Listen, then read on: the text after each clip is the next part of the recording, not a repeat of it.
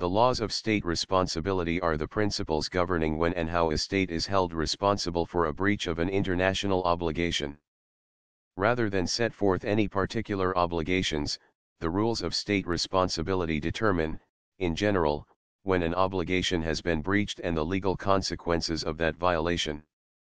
In this way they are secondary rules that address basic issues of responsibility and remedies available for breach of primary or substantive rules of international law, such as with respect to the use of armed force. Because of this generality, the rules can be studied independently of the primary rules of obligation.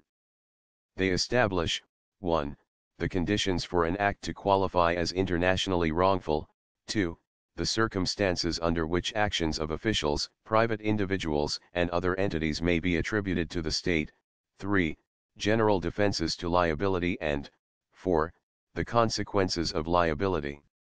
Until recently, the theory of the law of state responsibility was not well developed. The position has now changed, with the adoption of the draft articles on the responsibility of states for internationally wrongful acts, draft articles, by the International Law Commission, ILC, in August 2001. The draft articles are a combination of codification and progressive development. They have already been cited by the International Court of Justice and have generally been well received. Although the articles are general in coverage, they do not necessarily apply in all cases. Particular treaty regimes, such as the General Agreement on Tariffs and Trade and the European Convention on Human Rights, have established their own special rules of responsibility.